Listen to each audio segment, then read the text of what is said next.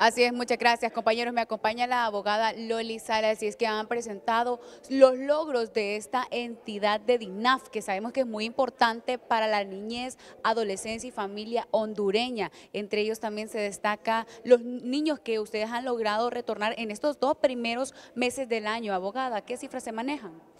Estamos eh, hablando de una cifra de 1.743 niños y niñas que han retornado al país, 799 que corresponden a los datos de las caravanas que estuvimos atendiendo al inicio del año.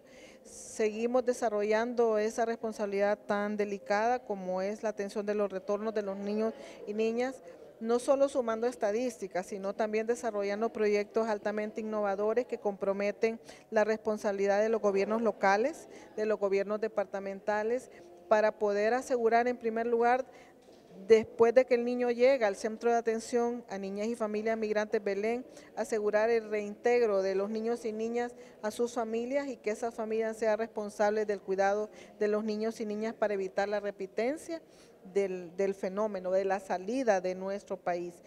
De, de, tal manera de que una vez que llega el niño, niña o adolescente, si está en un periodo escolar, asegurar inmediatamente su reingreso al espacio educativo. Es uno de los derechos más importantes, después del derecho a la vida, el derecho a la educación y el derecho a la salud. Por eso tenemos un grupo de reintegradores sociales que han sido contratados gracias al apoyo de la cooperación internacional para poder dar seguimiento, estar levantando estudios permanentes para poder eh, asegurar de que los niños están en sus hogares, están en sus comunidades y no han intentado salir de nuestro país. Abogada, de todos estos menores que ya suman más de 1.700 que ustedes han retornado en los primeros dos meses del año, eh, ¿cuántos viajaban acompañados y cuántos no?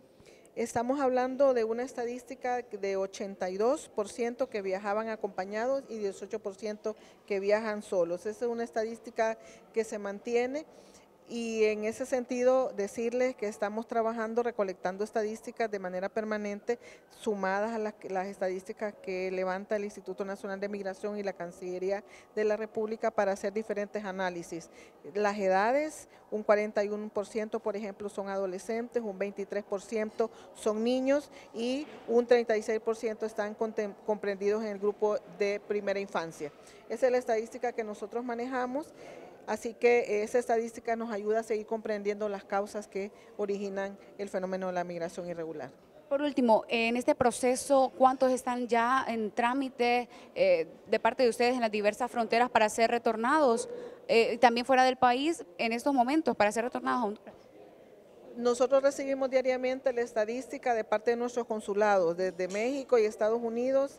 Es una estadística que se produce diariamente y esa estadística se está recibiendo para poder prepararnos para hacer la recepción, ya sea aérea o terrestre, estar pendiente en los diferentes puntos fronterizos y así sumar la estadística. Hay estadística que no se tiene porque la salida es una estadística prácticamente invisible porque mucha gente viaja por puntos ciegos. La estadística se recoge cuando ya tenemos los retornos de los niños, niñas y sus familias al país.